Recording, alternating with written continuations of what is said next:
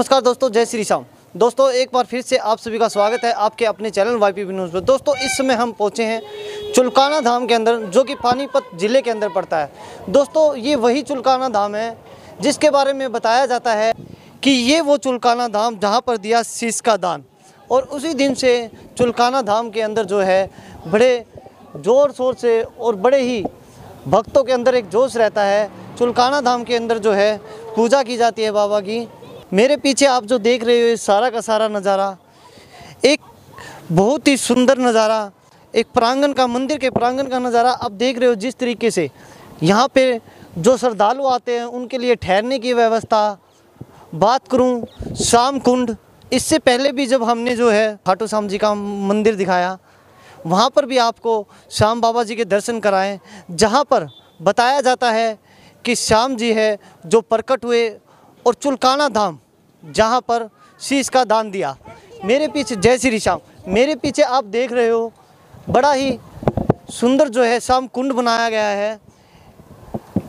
जिस तरीके से खाटू श्याम जी के अंदर, फागुन के मेले के अंदर भीड़ होती है हज़ारों लाखों श्रद्धालु जो है बाबा के दर्शन करने के लिए आते हैं। अब मेरे पीछे जो देख रहे हो, ये वो वृक्ष है, पीपल का वृक्ष। बताया जाता है, यहीं पर यहीं पर जो है श्री कृष्ण भगवान जी ने श्याम बाबा जी की, बर्बरिक महाराज जी की जब परीक्षा ली थी तो उन्होंने एक ही बाण से पूरे के पूरे जो इस पीपल के पत्ते हैं, पीपल के वृक्ष के जो पत्ते हैं, सारे के सारे पत्ते एक ही बाण से जो है बीन दिए थे।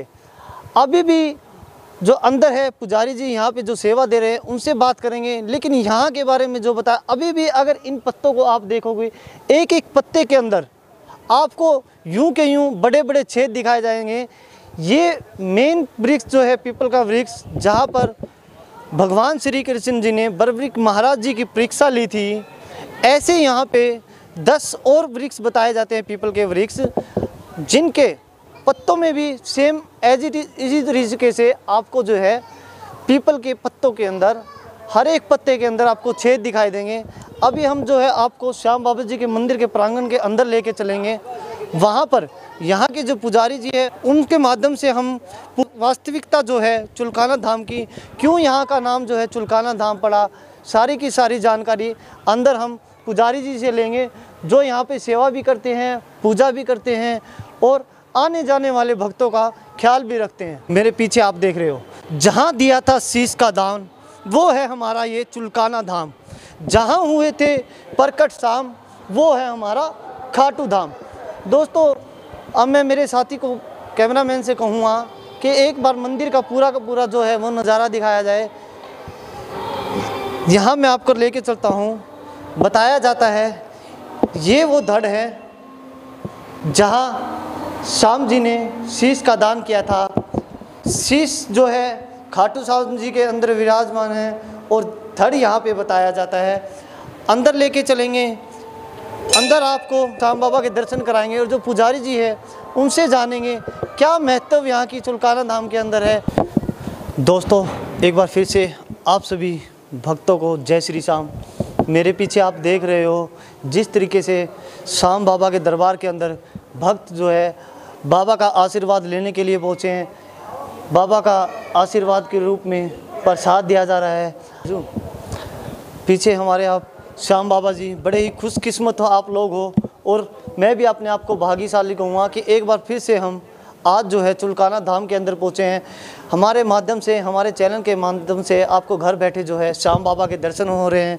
हमारे साथ जो है मंदिर के जो पुजारी जी हैं, वो हमारे साथ जुड़े हुए हैं। उनसे जानेंगे क्या वास्तविकता यहाँ के मंदिर को लेके है। क्यों आखिर चुलकाना धाम यहाँ मंदिर का नाम पड़ा? प्रभु जी, जय श्री जय श्री श्याम। एक बार सबसे पहले तो जो श्रद्धालु आपको देख रहे हैं, उनको अपना थोड़ा सा परिचय दें। मेरा नाम विजय दास पुजारी जी, चुलकाना धाम, श्री श्याम बाबा मंदिर, चुलकाना धाम। यहाँ की विशेषताएँ हैं, यहाँ शीश का दान तो हुआ ही है, परीक्षा भी हुई है, नाम भी मिले हैं। यहाँ बरबरिक जी और श्री कृष्ण भगवान चल के आए। तो यहाँ आने के बाद कृष्ण भगवान ने इनकी परीक्षा ली, बरबरिक जी की। परीक्षा में सफल रहे तो इन्होंने यहाँ शीश का दान दिया। चुलकाना के मंदिर में श्रद्धालु आते हैं। बाहर जो पीपल का वृक्ष है, आपने दिखाया भी होगा, समाधि मंदिर भी दिखाया होगा। जहाँ समाधि मंदिर है, यहीं पे खड़े हो गए शीश का दान हुआ था और यहीं से शीश खाटू में पहुँचा था। हर पत्ते में निशान मिलता है। जैसे बाबा का जन्मदिन आता है, देवठुनी एकादशी बोलते हैं, उसके बाद में हर पत्ते में निशान शुरू होना हो जाता है। मेले के समय में हर पत्ते में पूरा निशान हो जाता है। यहाँ शीश का दान होने के बाद बाबा का जो शीश था, वो खाटू पहुँचा वहाँ खाटू नगरी के हिसाब से वहाँ मंदिर पहले बना, प्रचार पहले हुआ। यहाँ गाँव का माहौल होने के कारण लेट प्रचार हुआ, लेकिन जहाँ दिया शीश का दान, वो भूमि चुलकाना धाम, जहाँ प्रगट हुए बाबा श्याम, वो भूमि खाटू धाम। चुलकाना में शीश का दान ना होता तो वहाँ खाटू श्याम ना होता। जय श्री श्याम, जय चुलकाना धाम। विजयदास पुजारी, चुलकाना धाम, पानीपत, हरियाणा। पुजारी जी खाटू श्याम जी मंदिर के बारे में बताया जाता है कि वहाँ पे जो आरती पाँच टाइम होती है, यहाँ पे आरती जो है सिर्फ़ दो ही टाइम होती है। उसके पीछे क्या कारण? उसके पीछे ये है कि यहाँ आरती सभी की होती है। वहाँ पाँच बार आरती होती है सिर्फ़ श्याम बाबा खाटू की। यहाँ सबसे पहले ये गणेश जी महाराज हैं, उनकी आरती होती है।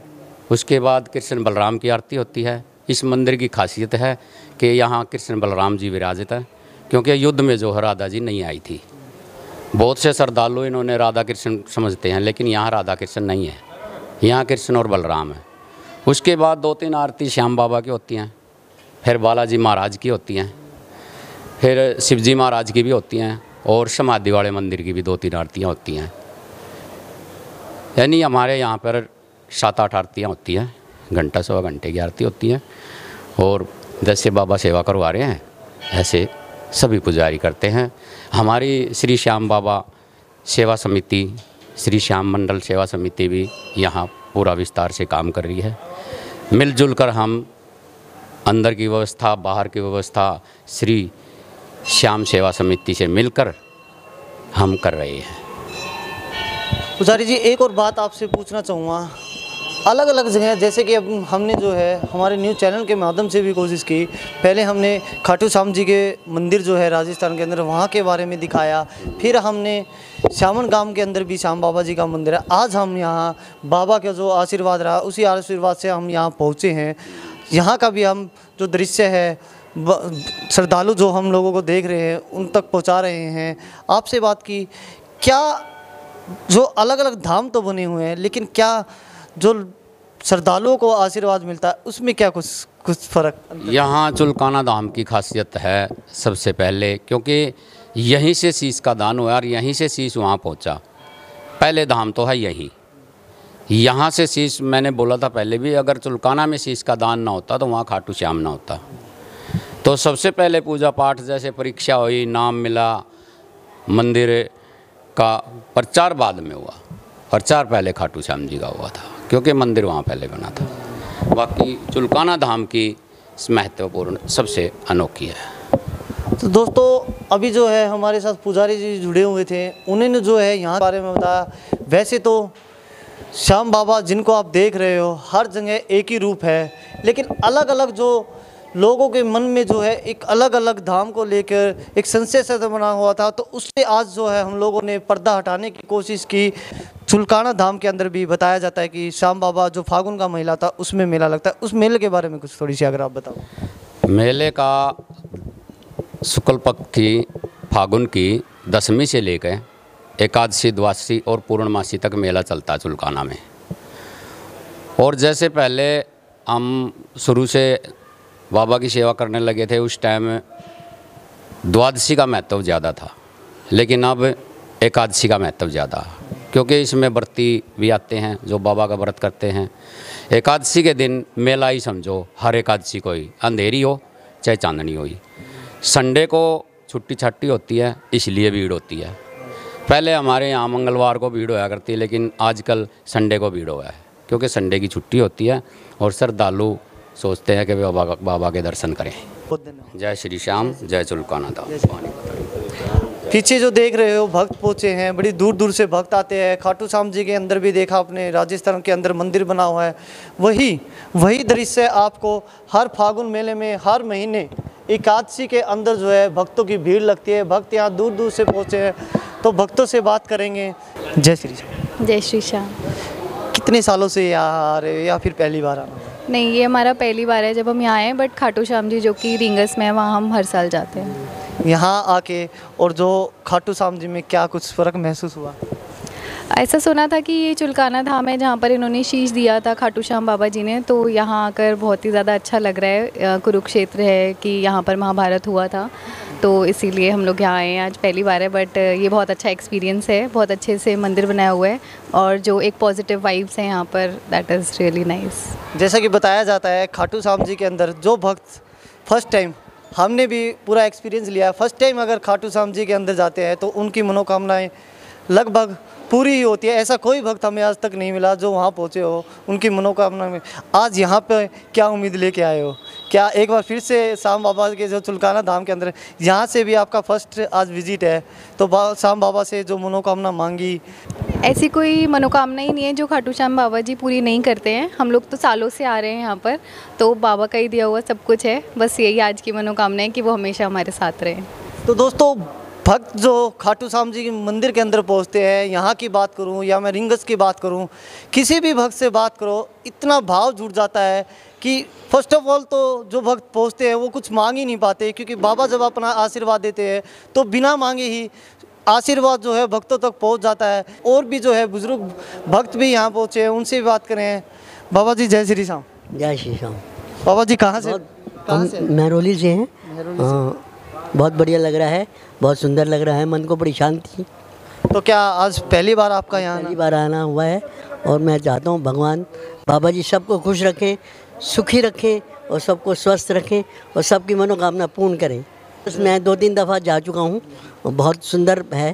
उधर भी बड़ी मन की शांति मिलती है चीज़ एक ही है। तो दोस्तों, भक्तों से भी बात की, उनका भी वही कहना है। बाबा एक है, रूप भी वही है, जगह अलग अलग है। तो दोस्तों, जहाँ भी आप लोगों को जब भी मौका मिलता है तो शाम दरबार में पहुंचकर बाबा का आप आशीर्वाद ले सकते हो। जय श्री श्याम। तो दोस्तों जय श्री श्याम। बने रहिएगा हमारे साथ। आगे भी आपको जहाँ जहाँ भी हमें मौका मिलेगा इसी तरीके से हम श्याम बाबा के दर्शन आपको करवाते रहेंगे। जय श्री श्याम।